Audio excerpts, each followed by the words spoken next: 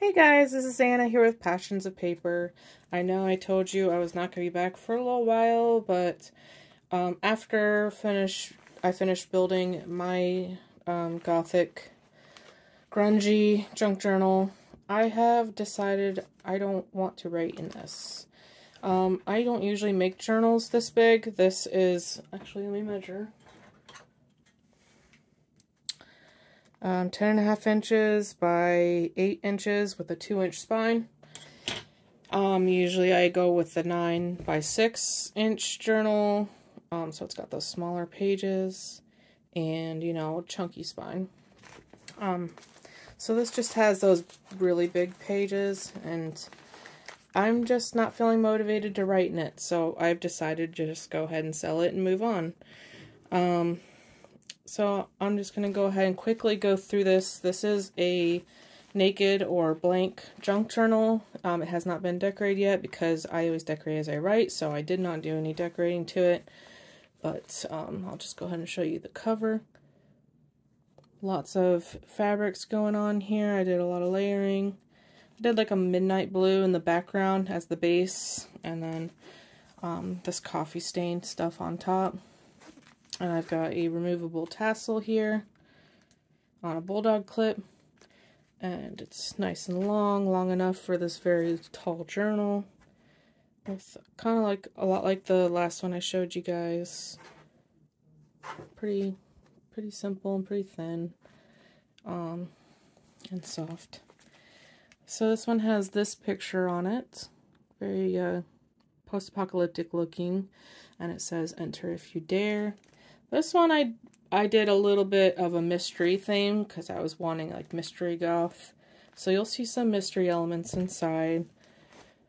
um, we've got the creepy cloth on here, the cheesecloth, black lace, um, sack, I think. And then the blue cotton underneath that. And we have um, the uh, eyelash trim, black eyelash trim all the way around here. And then uh, this is um, oh, just a piece of black cardstock with the inside torn out. So this looks like a messy torn frame on top of the picture. And then we've also got this antique um, crocheted doily, I think. And uh, it's like a piece of one. And I coffee stained that. And we've got some more of that coming out here. And there's another piece of a different one coming out here. And some more black lace up here. So that's about it for that. This should be a pretty quick video since it's not all decorated.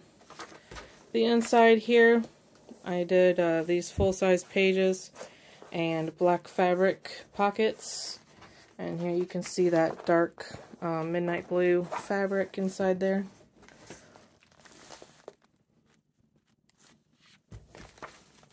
And then same thing on the back. Right here. Here we've got um, some mystery goodies that I was going to use as I journaled and those will be included. We've got this fun vintage letter here and some suspect, a suspect profile, clues chart, and these have all been grunged up and made to look vintagey. Fingerprints chart. I was just going to use them as journaling cards. And then we've got just some more fun little pages here with lots of journaling space on the back. And then another kind of letter-like type thing, which opens up so lots of journaling space there. And then this file can also be journaled on here on the inside and the back.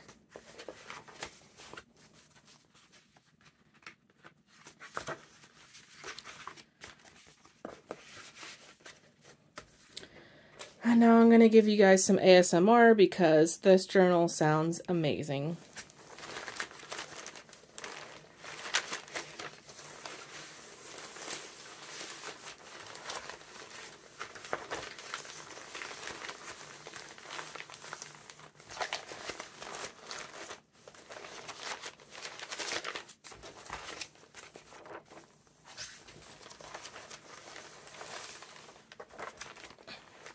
So real quickly here, this is going to be a mix of digitals that are on regular 8.5 by 11 paper, folded in half. So you can see this is the size of my normal journals, and this is how big, how much bigger this one is, all this extra space. These papers here um, are 11 by 17 inches, and then they've been torn all the way around and inked all the way around to be super grungy. This is um, a vintage page from a really old book or magazine. It was gifted to me, so I'm not sure what it's from, but it's in a foreign language, and it's a lot of fun. It feels really cool, so I had to add that. Plus the picture's kind of cool looking. Um, and these papers are A4, so they're actually a little shorter than 8.5 by 11 and um, quite a bit longer. So they add a nice variety to the sizing.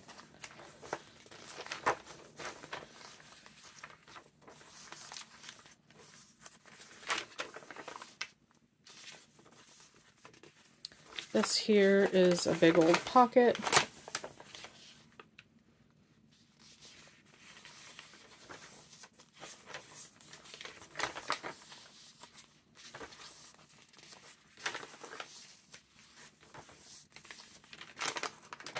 This is old um, printer paper, I think. It uh, turned out so deliciously grungy from the coffee dyeing. These um, can be untied from the bow if you want, and they'll they've got quite a bit. Um, they hang down about this much, so you could easily add some beads or something to them if you want.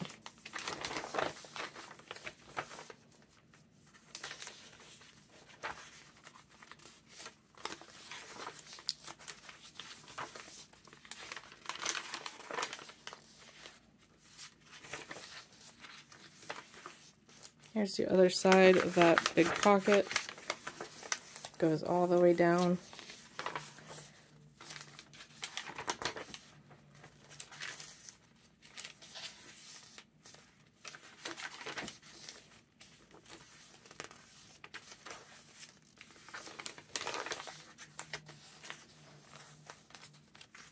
There are four signatures in here. Um, I actually did not count the pages yet, so if you want to know how many pages are in there, I'll have that in the description box below.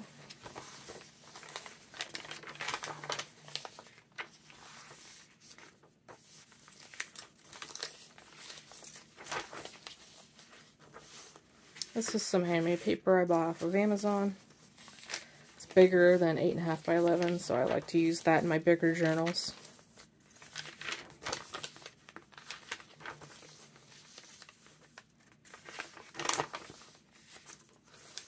More of that vintage paper.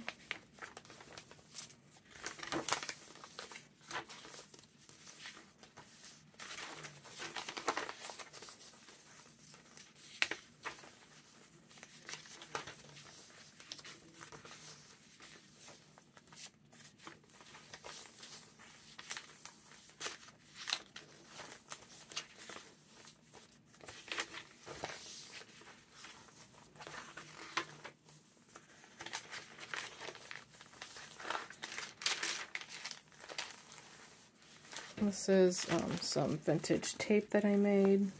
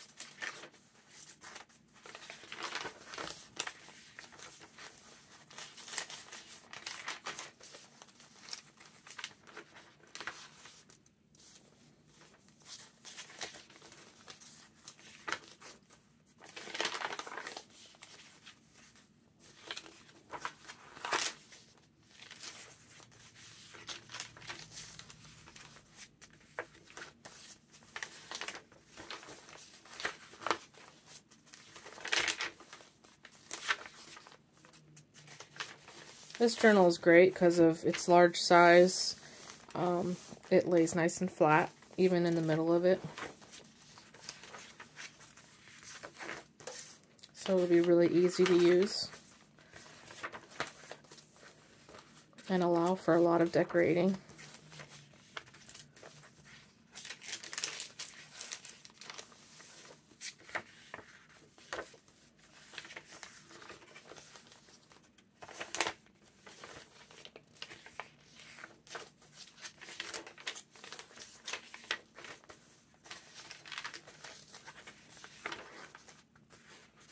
Um, this is more of that handmade paper, just a different color.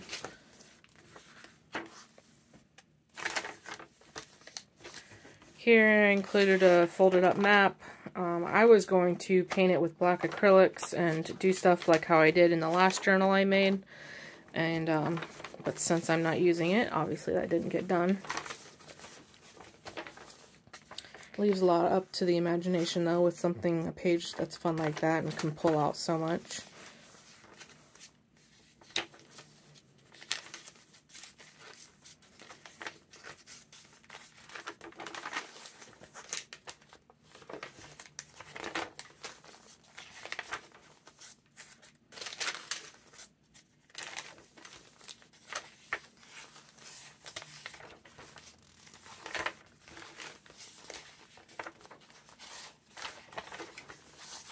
The other side of the map.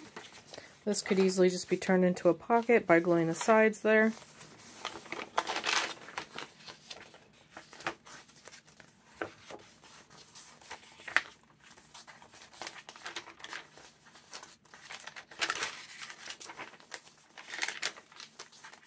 This is probably my fastest junk journal flip through ever.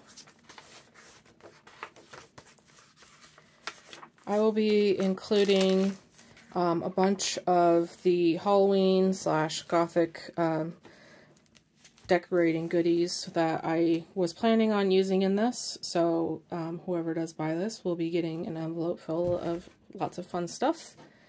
Um, and this will be listed in my Etsy shop by the time you guys see this video. So thank you guys so much for watching, and I'll see you next time. Bye.